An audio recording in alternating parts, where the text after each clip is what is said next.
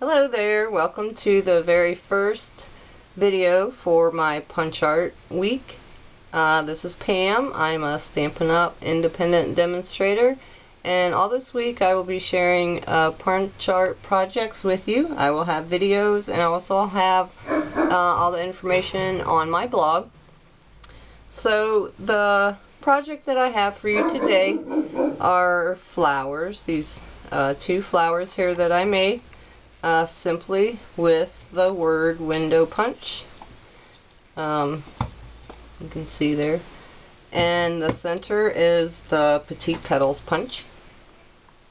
Um, that's all the punches that I used on this project. And also, this box is a little sneak peek for you from the holiday catalog that will be um, out the 1st of September, I believe, or the end of August. Uh, it is the gift box punch board, and it makes various sized gift boxes, uh, including this one. So I uh, adorned this one with these cute little flowers. So let me show you how to um, make these. They are very quick. So I will make the one uh, for you today with the Blackberry Bliss. This is the new in color. So for one flower you need five of the word window punches. So I'm just going to cut out five.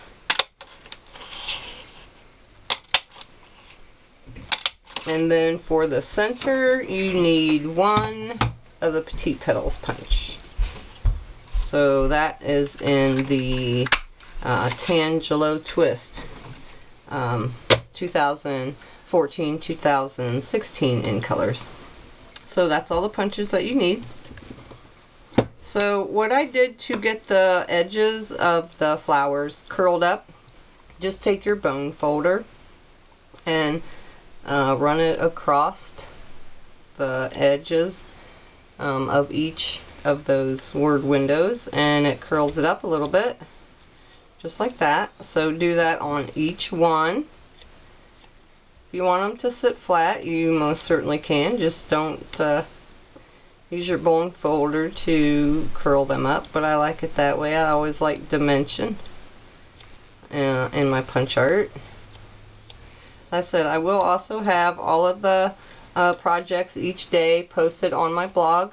Um, down below every video I will have a direct link um, to my blog and I will have like all the item numbers of all the punches that I used every day. Alright, so once you get those all curled up, and then you'll need your um, your little petite um, petals punch. Um, take your, this is just a mouse pad. If you have the uh, Stampin' Pierce mat, that would work fine too. But you need to punch a hole in the center of each one um, of these and into the center of the uh, Petite Petals Punch because they will all be held together uh, with a silver mini brad.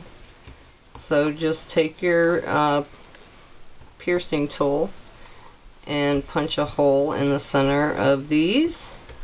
You don't have to um, be exactly precise. I just kind of eyeball it there and punch away.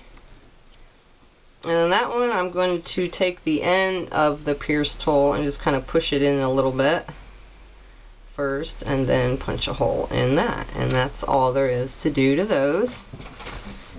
And next we will take the silver mini brads and get a whole uh, little tub of these. They're very small, but they have a longer stem on the back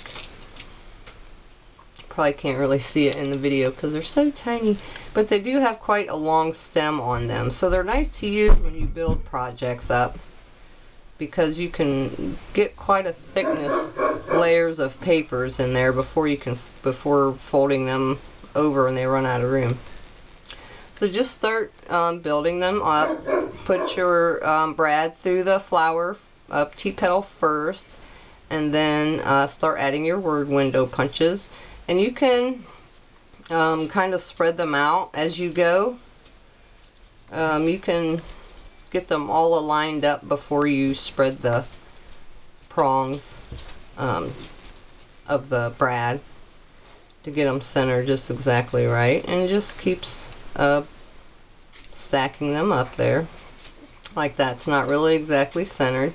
So I just kind of put my thumb in the center and hold it a little bit and just keep turning them around until I feel that that's probably as centered as as I can get them. And then open the prongs and they're real easy. They're very soft the prongs to get apart. And then I even kind of bend it just a little bit towards myself in this case just to to cup it a little bit.